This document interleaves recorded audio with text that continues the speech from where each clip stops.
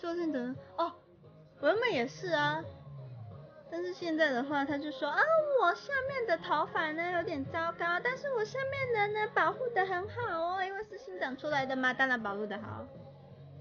你加班才设目标订阅五千，哈哈，订阅五千你觉得有可能吗？我觉得这辈子都不可能啊。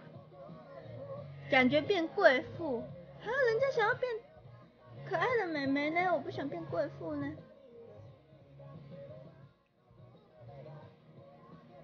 然后就弄什么丝法，然后卷起来这样。